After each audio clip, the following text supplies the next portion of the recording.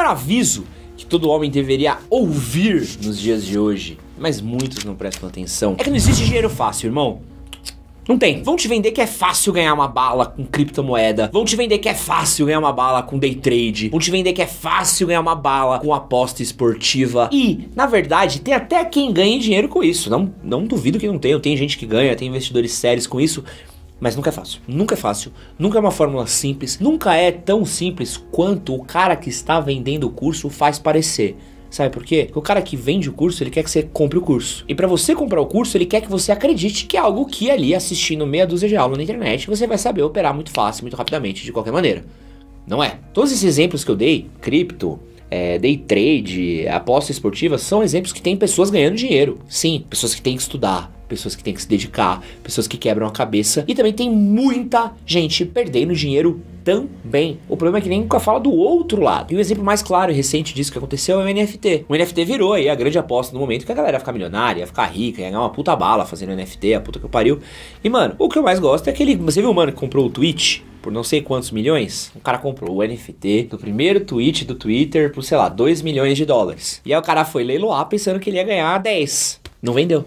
Ninguém quis comprar. Ninguém quis comprar. Ele perdeu 2 milhões. É isso. Ninguém quer comprar aquela porra porque não tem o que fazer com essa merda. E as pessoas estão parando de falar nisso. Por quê? Porque não tem o que fazer. Porque é um puta golpe do caralho. Mas quem vendeu NFT lá atrás falou que ia ser a aposta do momento, que ia funcionar. E essas pessoas ficaram bem ricas. Quem ficou pobre, pobre foi quem acreditou que o dinheiro era fácil. Então você precisa entender que não existe dinheiro fácil. Mesmo se você roubar, não vai ser fácil você roubar, irmão. Mesmo se você roubar, vai ser um trampo. Você pegar, você sair correndo, fugir dos tiras, ter que trocar bala com o Mortog, com o Riggs, enquanto o Riggs grita no carro como se ele fosse uma sirene fazendo. "Ah!" Com a cabeça pra fora e luta jiu-jitsu com você na frente de uma casa com hidrante soltando água por tudo quanto é canto e o Jet Li fica olhando ali atrás esperando pra entrar no pau também. Não é fácil ganhar dinheiro, velho. A não ser que você seja herdeiro, que aí você nem ganhou, você já nasceu com dinheiro, você nem precisou ganhar já é teu. Você vai ralar um pouco desse cu pra ganhar dinheiro. E se você quiser parar de ser otário nessa vida, você vai ter que aprender, irmão. Você não pode gastar toda a sua grana com um golpe. Enriquecendo gente que inventou tática de vender curso pra gente iludida, mano. É isso. Enquanto você tá acreditando na promessa, o cara tá vivendo aí de colher ilusão, mano. E no vídeo de hoje, eu trouxe aqui alguns avisos que todo homem, moderno ou não, deveria ouvir. Então, prepara o cotonete, limpa a orelhinha, tá começando no pistolado.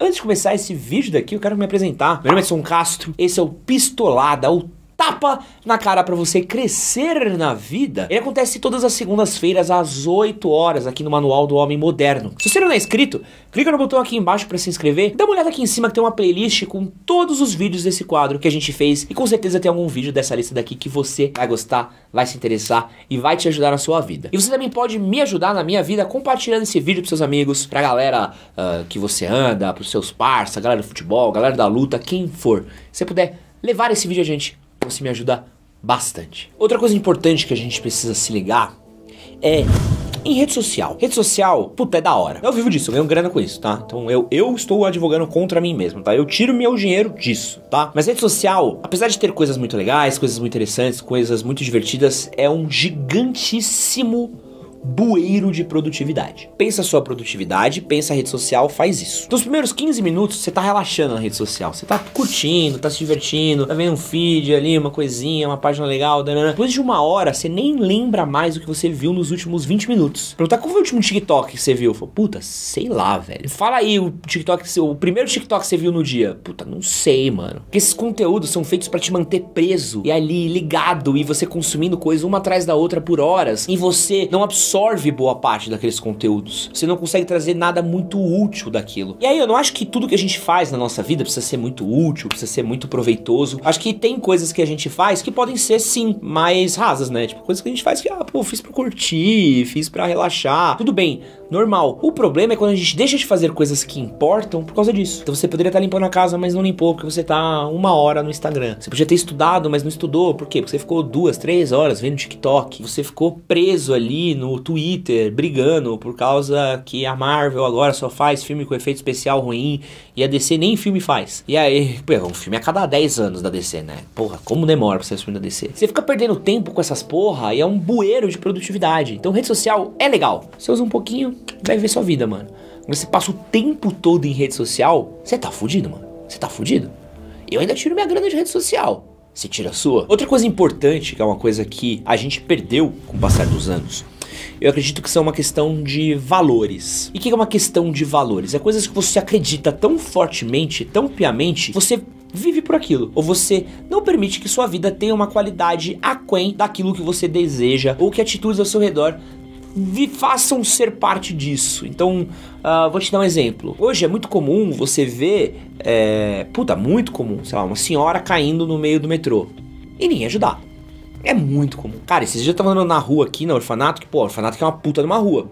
Mano, que é uma velha. Na frente do Senac. Que, porra, passa gente pra caralho aqui no Senac. Ninguém parou, velho. Tipo, passaram. Uns moleque riram, não sei o que, passaram e, mano, pau no é, eu nem gosto de velha. Aí eu fui lá, atravessei a rua, levantei a velha. Falei, a senhora tá bem? Não, tô bem e tal, não sei o que, lá. E é muito doido, assim, as pessoas nem perguntaram, você tá bem? Sabe, tipo, é tão as pessoas enfiadas a cabeça no próprio que o valor de uma pessoa caiu. A pessoa pode ter se machucado. A pessoa que pode ser a mãe de alguém, a pessoa que pode ser a avó de alguém, a pessoa que é da família de alguém, que pode estar indo levar comida para casa de alguém, caiu. Nessa queda, para um pessoal de uma certa idade, às vezes pode apresentar um risco de quebrar uma perna, de torcer um pé, de machucar, tudo mais. E as pessoas não conseguem ter a empatia por essas pessoas mais. A gente perdeu esse valor, a gente perdeu essa capacidade. A gente vê na rua bandido roubando o celular dos outros e saindo correndo e ninguém faz nada. As pessoas olham e falam, ih, roubou, né? Ih, correu. As pessoas não correm mais atrás do bandido. As pessoas não correm mais, pega ladrão. As pessoas não se, mano, não se juntam para dar um pau num trombadinha. As pessoas olham e falam, ih, roubou, né? Puta, ih, ai, ai, meu Deus, São Paulo, né? Ai, que pena, você perdeu seu celular. Minha tia uma vez foi roubado o celular também. A gente perdeu esses princípios, esses valores pelos quais a gente vive. A gente tá num rolê e o cara fala um puta bagulho escroto e você fala assim, mano, você fala um puta bagulho escroto, brother. Mano, para com isso. Mas a gente não faz mais isso, porque a gente quer ficar bem na fita com todo mundo, porque a gente acha que comunicação é você ser isentão. É o cara que não tem opinião, que não fala nada, que tá sempre em cima do muro, que não vai nem pra um lado, que não vai nem pro outro, que não diz a verdade, que não é mais direto, não é mais, mais forte nas palavras dele. A gente perdeu os valores, velho. A gente prostitui o que a gente tem para ficar na, neutro ou tentar agradar todo mundo e deixa de ser um indivíduo, deixa de ser um ser humano. A gente deixa de viver por aquilo que a gente acredita. E eu acho isso muito importante. A gente tem o nosso valor nos nossos relacionamentos, a gente tem o nosso valor nas nossas famílias, a gente tem o valor na nossa sociedade e a gente viver por aquilo, brother. A gente vive uma era tão doida, tão liquefata, as coisas estão tão dissolvidas, é tão todo mundo foda-se, é todo mundo tão nilista, é todo mundo pela piadinha, pelo memezinho, pelo não sei o que, que a gente esquece de ser gente de verdade na vida real. A gente acha que ser homem é se fantasiar de Peak Blinder, a gente acha que ser homem é seguir canalzinho de Red Pill, a gente acha que ser homem é se fantasiar de viking e morar no Rio Grande do Sul, é ficar andando com um machado e cortando lenha. A gente não age que nem gente, a gente não tem valor, a gente não age na sociedade, a gente não mostra isso para as pessoas ao nosso redor. E outro recado importante que eu gostaria de dar, e acho que ele é muitíssimo importante, é que a gente precisa cultivar relações mais saudáveis. A gente precisa cultivar relações com pessoas que acreditam nos mesmos valores que a gente. A gente precisa cultivar relações com pessoas que têm os mesmos ideais, acreditam na gente, se importam com a gente. Ah, mas meus amigos não se importam, eles não têm aí, blá blá blá. Seus amigos cagam pra você, tiram um barato pra você, você tá passando uma dificuldade, ninguém se importa. Você não tem um amigo, velho.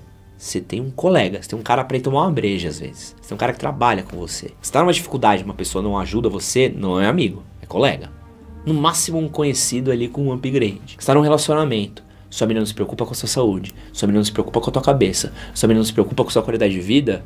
Cara, eu acho que você mereceria mais. E você precisa ser capaz de ver isso. Você precisa ser capaz de reconhecer que a pessoa com quem você está não se importa com você. Você precisa ser capaz de entender isso. E a gente também tem que entender que a gente também tem que nutrir isso. Tu não é o pica das galáxias, irmão. Tu não é o príncipe da Inglaterra, tu não é a porra de um ser predestinado que merece de tudo de bom e do melhor para você. Você também precisa correr atrás das pessoas, você também precisa nutrir isso, você também precisa regar as flores do seu jardim. Você precisa mostrar por que, que você merece também ter essas relações. E a partir do momento que você é uma pessoa foda, você não pode esperar menos que isso. A partir do momento que você se mostra uma pessoa que dá atenção, que cuida, que zela, você setou uma barra. E você viu que a pessoa que tá do outro lado não acompanha essa barra, corta. Isso é uma relação saudável. E não você vê que a pessoa é uma merda, te trai, só quer baguncinha, tá nem aí pra você, e você desce pro nível dela. Você vê que seus amigos são os bostas, te zoam, não gostam de você, te tratam mal e você trata eles igual. A gente tem que ser quem sobe a barra. A gente tem que liderar pelo exemplo.